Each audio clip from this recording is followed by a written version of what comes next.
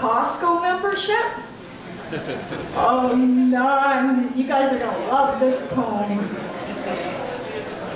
Welcome to Costco, where you can get more for your money. Funny, you pay them to shop there. That's right, you pay them. I don't get it. People already have too much shit, but they want more. Bigger shit. So they can brag about their bargains. I spent $50 on a membership at the big box store. Now I can save more. Yeah, but they soaked you the minute you walked through the door. That carton of 50,000 lunch bags won't fit in your cupboard. The box of Tide is bigger than the fucking washing machine.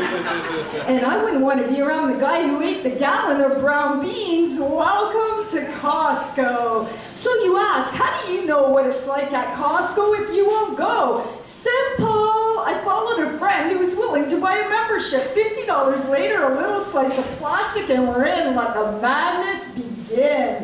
My first clue to the size of the place were the shopping carts. These carts can hold a $1,000 worth of product. For a $1,000, you could fill a cart. You'd only have about 10 items, but they would be big items. Insane, but I guess you never have to buy tampons again. Then some idiot almost runs over my ass with his supersized shopping cart.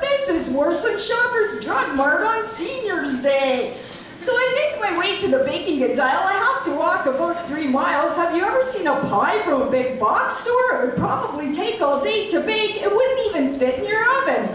If little Jack Horner sat in a corner eating a big box pie, he would stick in his thumb and his arm would be numb trying to pull out the plum and he'd say, why did I buy this pie? Fuck, what a dumbass am I.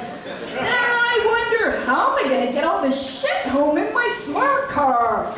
I must have been a flake to buy cornflakes, Luke to buy Froot Loops, and I'm gonna look like a goof driving around town with Captain Crunch tied to the roof. The of pickled pig's feet takes up the whole passenger seat, and what the hell? The bottle of hair gel won't fit in the trunk.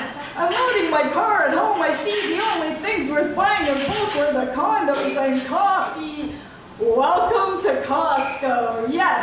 Welcome to Costco, where you pay them.